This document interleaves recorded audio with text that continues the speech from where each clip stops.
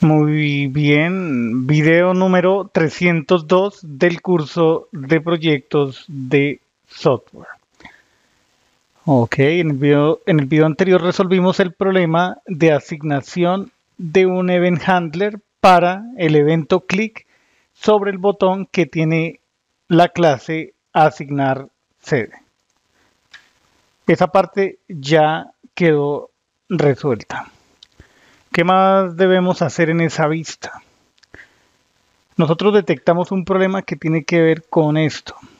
Por ejemplo, voy a crear em, otro, sí, otro usuario que tenga el mismo documento, por ejemplo, 2001. Creemos un usuario que tenga ese mismo documento. 2001, XY, XY, XY. Eh, correo xy arroba superparking superparking.co y aquí escribimos operario. Ahí se genera un problema. Bueno primero que las contraseñas no coinciden. Xy xy a ver. Ocurrió un error al intentar guardar el registro. Solamente en la consola por otra parte nos indica este mensaje internal server error.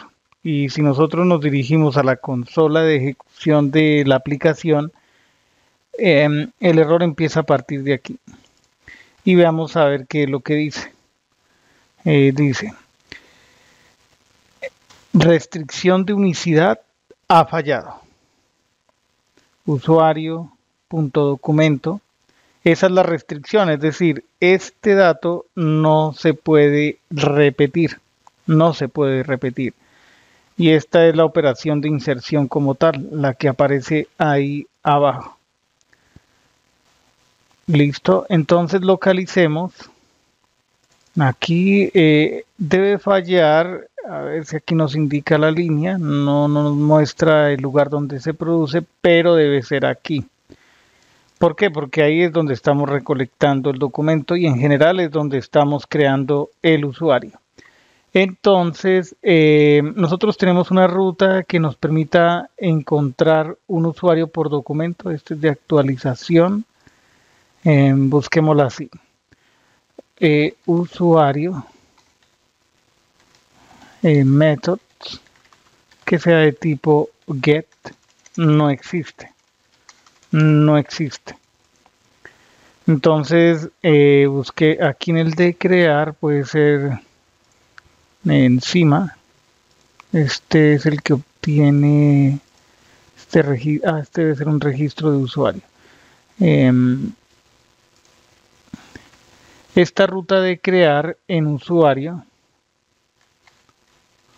Y usuario.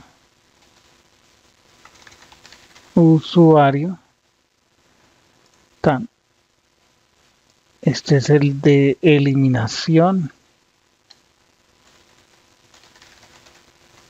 El de cambiar password. Este es delete. Este es el de actualizar. ¿Y dónde está el de crear?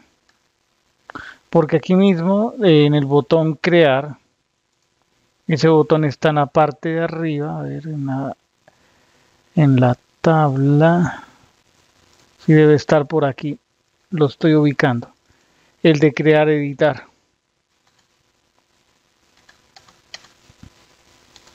Por acá.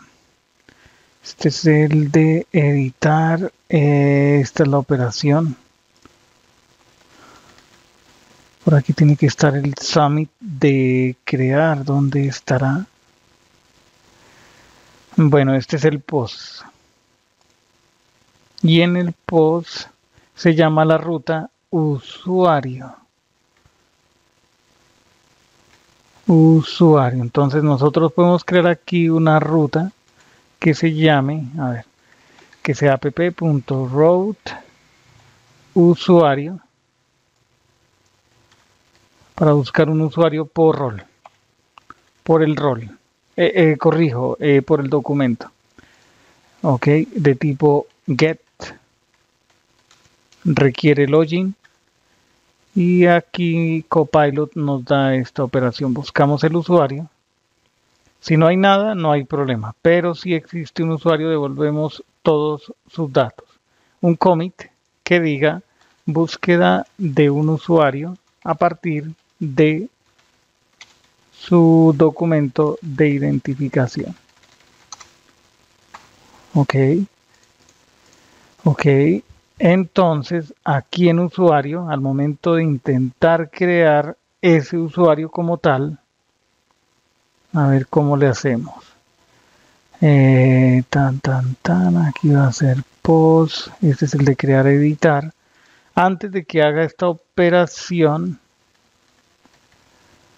em, inclusive podemos dejar, dupliquemos esto un momento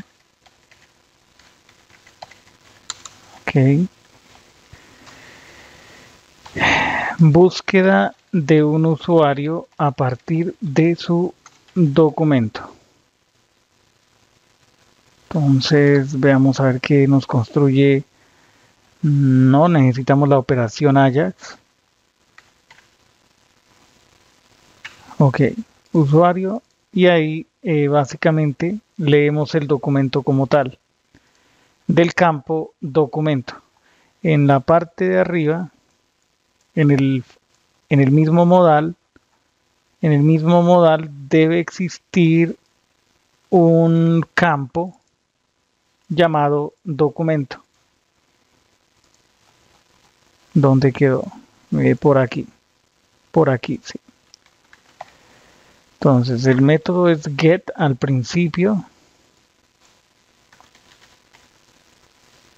Eh, digo URL, eh, corrijo method, y aquí le vamos a decir así, la URL, este verificar no lo necesitamos, solamente el documento, se va por el método get, entonces, si exuxext, realizamos el resto de operaciones, es decir, hasta aquí. Primero verificamos que sí exista. Eh, el usuario ya existe. Ta, ta, ta. Así. Ah, Quitemos este recomendado que nos dio Copilot y pegamos el código. Eh, aquí eh, debe ser existente el status existente usuario esto puede ser 200 200 nada más es una búsqueda usuario no encontrado eh, listo. Aquí el status es existente, ¿ya? Vale. Un commit que diga mm, eh, solicitud Ajax para buscar un usuario por documento. Sí, por documento. Estos cambios los vamos a subir al repositorio remoto y continuaremos en el siguiente video.